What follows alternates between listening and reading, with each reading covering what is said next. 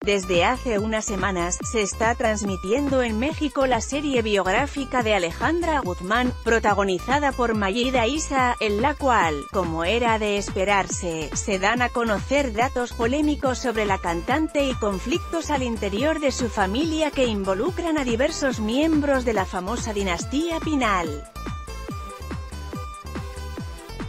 Ante ello, su madre, Silvia Pinal, da a conocer sus primeras impresiones al respecto.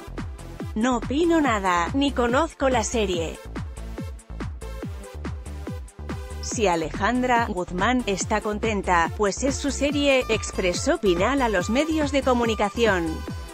No conozco qué hicieron estas gentes, los productores, lo tendría que ver.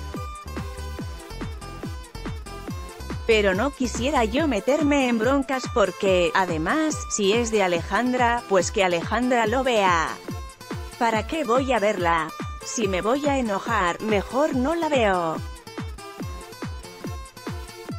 Suscríbete a nuestro boletín La actriz manifestó su desacuerdo ante la inclusión de su fallecida hija Viridiana a la triste, a quien retratan como su preferida.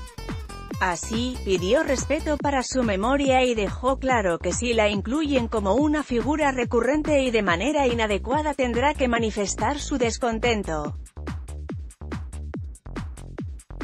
Viridiana, a la triste, ¿qué tiene que ver en este momento aquí?, advirtió. Pues no sé, pero ojalá que no la mencionen más porque, entonces sí, voy a protestar porque Viri ya está descansando y nunca se metió con nadie, y hay que respetar a las gentes.